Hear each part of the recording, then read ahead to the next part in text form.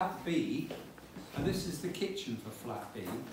If you go in through the room there, that is the kitchen for flat A. You know the flat we've just been into? So this door will be sealed off, and uh, you have a look in flat A, uh, kitchen A. Round the back, there's we're going to put an entrance in from flat A uh, to the flat A kitchen. That'll be locked off. Uh, the ent- currently is flat B is this door, but we've got to put an entrance down there because you can't have an entrance uh, or exit through a kitchen uh, in an HMO. So I, I'm going to have to make a separate exit for flat B. So we're in flat B. Flat B's got three rooms and they're all let. They let straight away for some particular reason. I'm not quite sure. Uh, and here's, yes, one of the uh, occupiers. So, um, this was all left behind uh, by the previous occupiers. You always got the impression, not the peanuts, I don't know where they've appeared from, uh, being put on the table. Uh, August 23. Hmm. Maybe they were left by the previous occupiers on the table. Uh, but you got the impression when I bought this that they'd got up after breakfast and walked out. Uh, you, even though it had been empty for two years, uh, you got that impression that everything just as they left it. Did you say this is kitchen A or This is kitchen B. kitchen B? Right. Yeah. Okay. We've got kitchen B.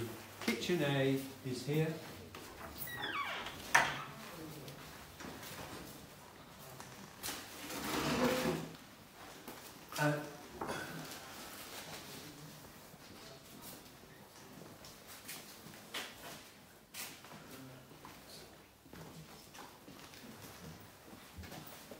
So what's going to happen is this door that uh, Nick's just come through is going to be sealed off an entrance has been knocked through from flat A into here, and this will be the kitchen for flat A in phase one.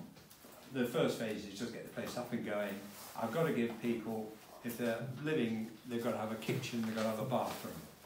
Most of the rooms, as we saw in flat A, have got their own toilets, but there's a communal bathroom. I didn't take you down there because uh, the uh, electrician's got all his kit on the floor um, so I don't want to trip it over there, but there's a communal bathroom.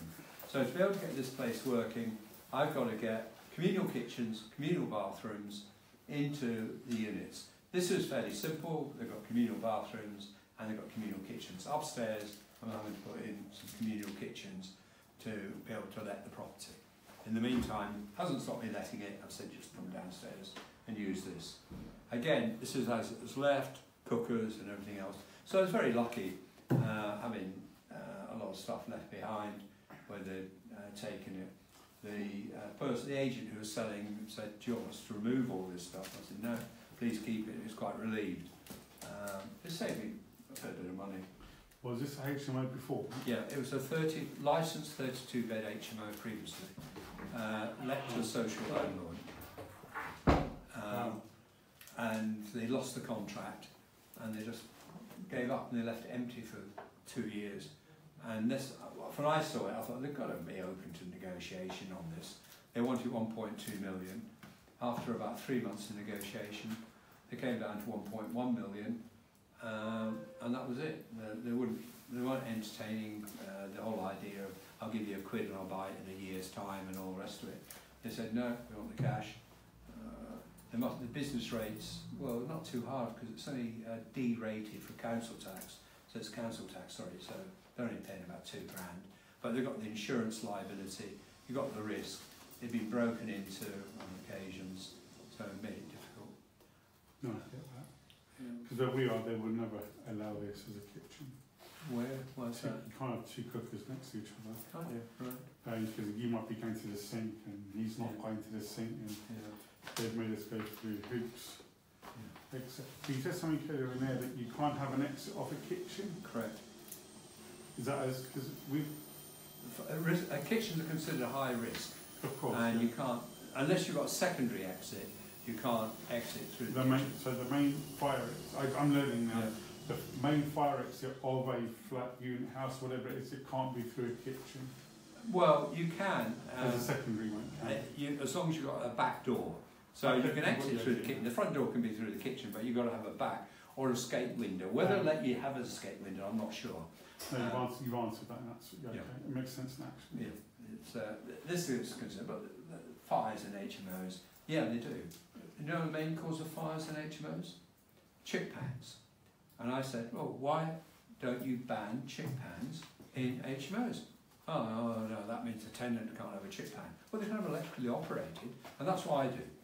I say in my tenancy agreement, no chip pans.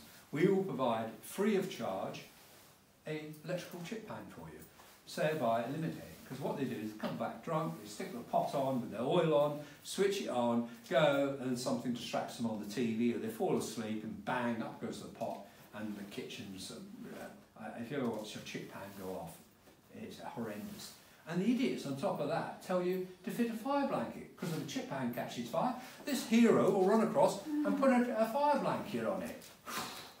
if you just watch a chip pan, how it goes, you don't want the fire blanket kitchen.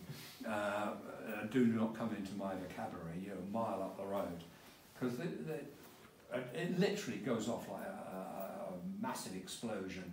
Or someone chucks water on a, a red hot chip pan. This whole room will be engulfed in flames, and uh, if you survive it, you're going to go around skinless for the rest of your life. So this will stay as a kitchen. No, this is being as a kitchen in phase one.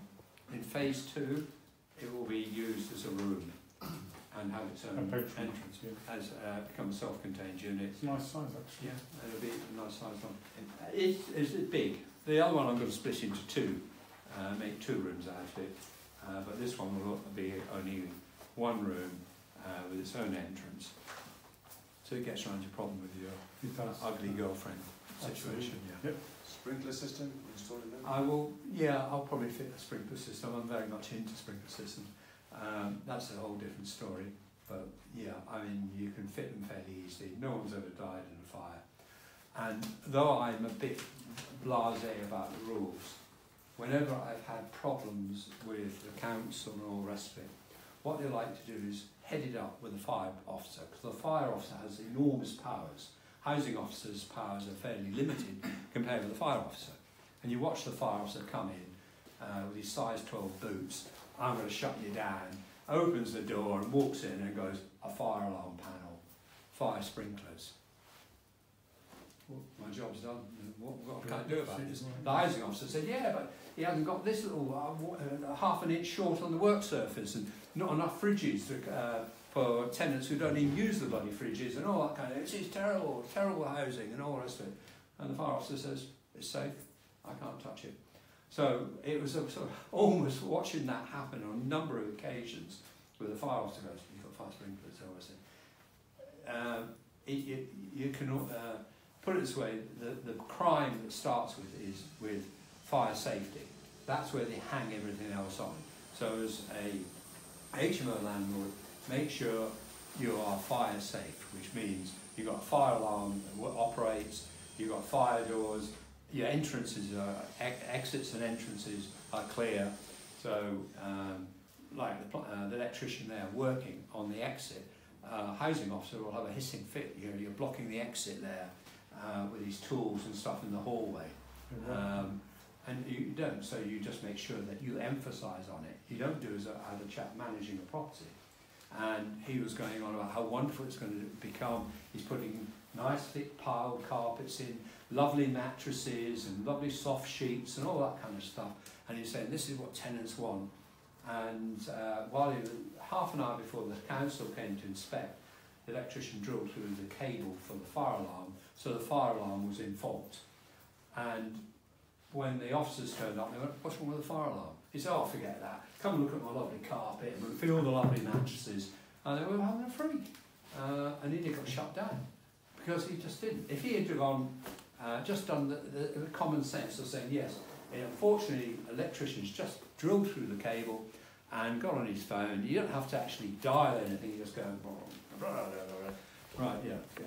Get your fucking arse over here, I've got fire alarm not working. Now! I want it now! Eh, 30 minutes. No, make it 20 minutes. Right, yeah, thanks. Can we carry on? The, the, uh, the, uh, whatever it is, the fire, uh, fire alarm engineer is on his way.